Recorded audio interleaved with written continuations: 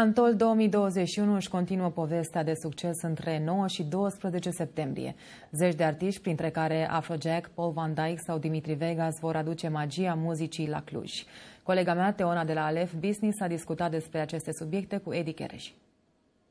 Antold, cel mai mare festival din Europa organizat anul acesta, se pregătește intens de deschidere. 1600 de oameni din peste 10 țări lucrează pentru producția acestuia, care se va desfășura în perioada 9-12 septembrie.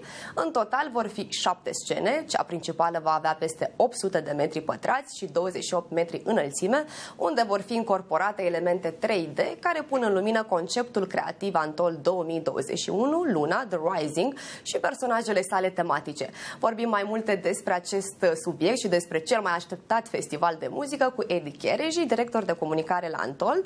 Bună, Edi, mulțumesc tare mult că vorbești cu noi uh, în această seară. Spune-ne da, mare plăcere. ce va fi diferit anul acesta la festival și dacă are vreun impact pandemia asupra Antold 2021. Așa este, vor fi câteva lucruri uh, care ne vor diferenția față de anii precedenți, uh, dar uh, nu unele care să știrbească din experiența festivalului. Va fi fără îndoială o ediție excepțională în care vom sărbători, dacă vrei, două ediții într-una singură, pentru că avem de recuperat și anul 2020. Vom avea însă o limitare a numărului de participanți. În fiecare zi vom putea primi până la 75.000 de persoane în perimetrul festivalului uh, și, bineînțeles, absolut toți cei care intră în perimetrul festivalului uh, vor trebui să îndeplinească una din cele trei condiții, și anume fie să fie vaccinați, fie să facă dovada că au trecut prin boală sau să fie testați în fiecare zi cu test uh, rapid sau cu test PCR.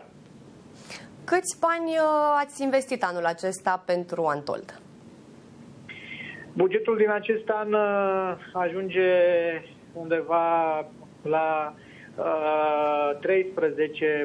13-14 milioane de euro, cam acolo va fi bugetul din acest an. De fiecare dată, uh, în ultima sau în ultimele două săptămâni, tot timpul mai apar uh, cheltuieli neprevăzute, de aceea nu pot să vă dau încă o cifră exactă, dar din estimările noastre, cam în jurul acestor cifre se va situa bugetul în acest an. Uh, este aproximativ similar cu anul 2019, atunci bugetul a fost undeva la 16 milioane de euro, deci uh, iată că și din perspectiva cifrelor uh, va fi o ediție mare, o ediție masivă, pentru că și bugetul este unul pe măsură. Hai că am vorbit puțin despre cifrele de start, vreau să vorbesc uh, cu tine și despre cifrele uh, de final. Uh, la ce câștiguri vă așteptați la ediția din acest an sau pierderi, dacă este cazul?